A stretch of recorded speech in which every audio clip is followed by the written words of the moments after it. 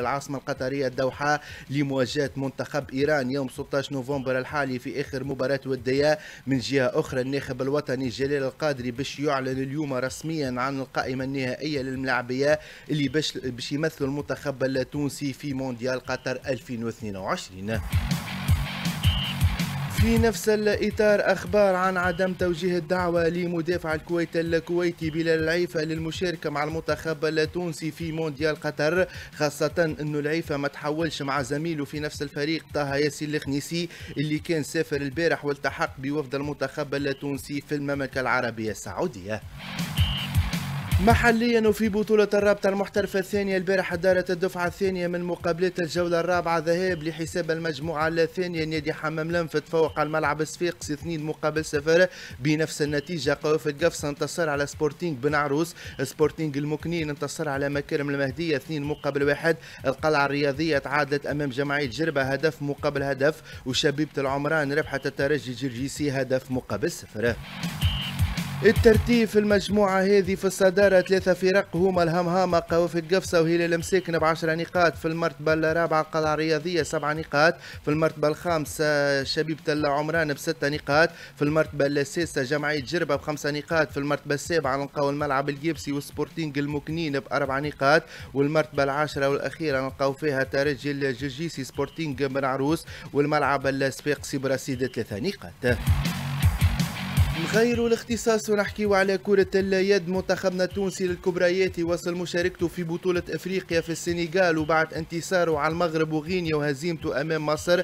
البارح منتخبنا انقاد لهزيمة ثانية أمام منتخب الكونغو بنتيجة 25 مقابل 20 في مقابلة الجولة الثالثة والأخيرة من الدور الأول.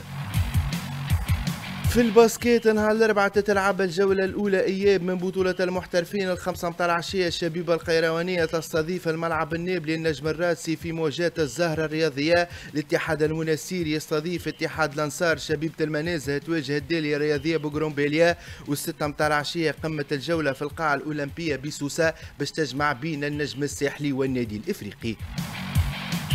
في الكرة الطايرة نهار الأربعاء تتلعب الجولة الخامسة ذهاب الأربعة متاع العشية النجم الساحلي يواجه فتح حمام الغزاز ومولدية بوسالم تلعب ضد الأولمبي القليبي. بقية المواجهات الستة متاع العشية الترجي يواجه اتحاد قرطاج مستقبل مرسى يلعب ضد سعيدية سيدي بوسعيد. اتحاد النقل الصفاقسي يستضيف نادي حمام لنف في الرياضات الفردية المنتخب التونسي للتايكواندو باش يستهل اليوم مشاركته في بطولة العالم المكسيك 2022 وباش تكون فيها تونس ممثلة بكل من البطل الأولمبي محمد خليل الجندوبي المصنف أول عالميا في وزن 58 كيلوغرام فراس القطوسي في وزن 74 كيلوغرام وياسين البرهومي في وزن 63 كيلوغرام إلى جانب كل من شيمة التومي في وزن 53 كيلوغرام وعهود بن عون في وزن 49 كيلوغرام. خارج تونس وفي أبرز مقابلات البارح في البريمير ليغ الإنجليزية. برايتون انهزم أمام أستون فيلا 2 مقابل واحد وبنفس نتيجه فولهام انقاد الهزيمة في اللحظات الأخيرة على أرضية ميدانه أمام مانشستر يونايتد. في الجولة 15 من البوندسليغا الألمانية ماينز تعادل أمام أينتراخت فرانكفورت هدف مقابل هدف وفرايبورغ انتصر على إونيون برلين أربع أهداف كاملة مقابل هدف. في الجولة 15 من سيريا آ أتالانتا انهزم أمام إنتر ميلان ثلاثة أهداف مقابل اثنين في قمة الجولة. وآس روما يكتفي بالتعادل في الأولمبيكو أمام تورينو هدف مقابل هدف. في الجولة 15 من ليغ 1 الفرنسية البي إس جي يضرب بقوة ينتصر على أوكسير خمسة أهداف كاملة مقابل صفر. وموناكو ينقذ الهزيمة في قمة الجولة على أرضية ميدانه أمام أولمبيك مارسيل ثلاثة أهداف مقابل اثنين. نختم نشرتنا بمعلومة صحية تساعد الرياضة في زيادة مرونة المفاصل والأوتار مع تحسين عمل الجهاز الهضمي بالإضافة لزيادة ضخ الدم في الأوعية الدموية إلى كافة أنحاء الجسم. هذا كل ما في لايف سبور أجمل تحيات سيد الطرابلسي وإن شاء الله نهاركم زينة. لايف سبور أخبار ومواعيد رياضية